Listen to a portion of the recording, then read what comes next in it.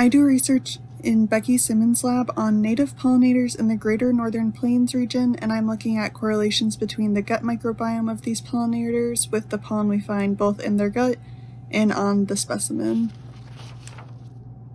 In the biomedical research department, Dr. Foster's lab focuses on the modulation of the dopamine transporter, specifically the role of a 16 carbon fatty acid attachment known as palmitoylation.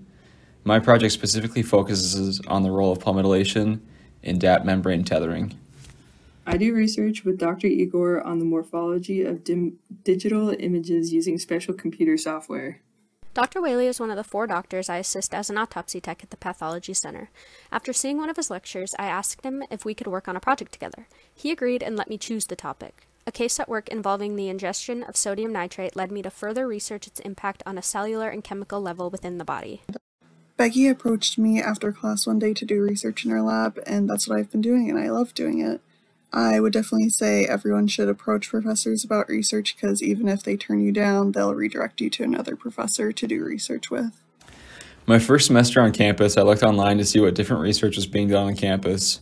Dr. Foster's research caught my eye, so I reached out to him by email asking if he would take undergrad students. He was very welcoming and helped me get started right away in his lab. Truthfully, after the initial email, it wasn't scary or intimidating at all. Dr. Foster and his PhD student at the time, now Dr. Hovde, were very patient with me and took the time to teach me lab technique, even though I had no prior experience. Dr. Igor was the one that introduced me to the U.S. Master Program, and once I was accepted, he offered me a research opportunity with him in his lab.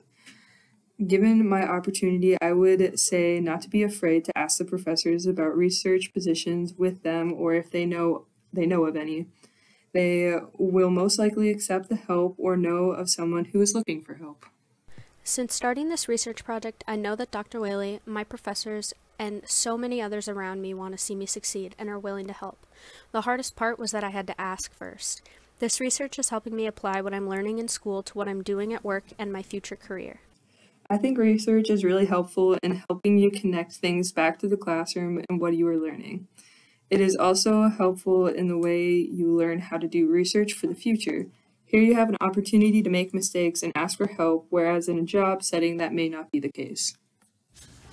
For me, research was a way to stay engaged in my learning. It's easy to get burned out on lectures and textbook reading, but working in a lab where I feel like I can actually use that knowledge is very motivating.